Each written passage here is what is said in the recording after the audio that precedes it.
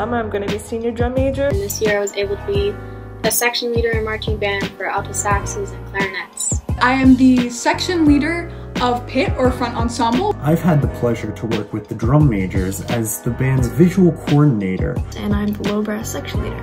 One of my favorite memories of marching band would be the district festival. All of the marching bands in the district came together and we were able to see all of their shows.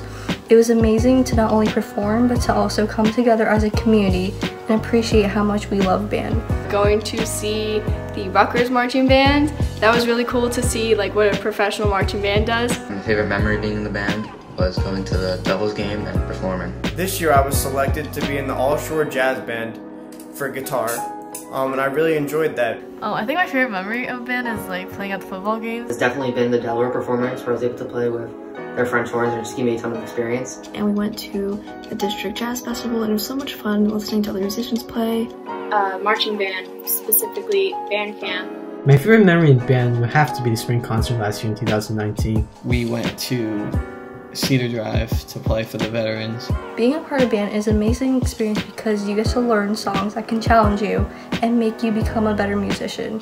I can't count how many times I've probably sat in class or at games and I just can't stop laughing. You're gonna walk in every day with a smile on your face and leave giggling, nonstop laughter. It's just being around with everyone and having students who care about me. This is like a great environment and the people are also very wonderful a really good way to make friends once you're like just getting into high school. I eat lunch with all my band friends and uh, every day. I never was in any band in school, and then freshman year I joined the band class and the marching band. I'm so glad I did. Band has been giving me a lot of opportunities ever since I came. It's a safe place to explore your musical talents. Not only is it fun to be around people who care about music as much as you do, the people in the band are some of the most fun, supportive people I've ever gotten to know. You make a lot of great friends. There's a lot of good people. Even though we are a pretty small band, I feel like that just makes us closer.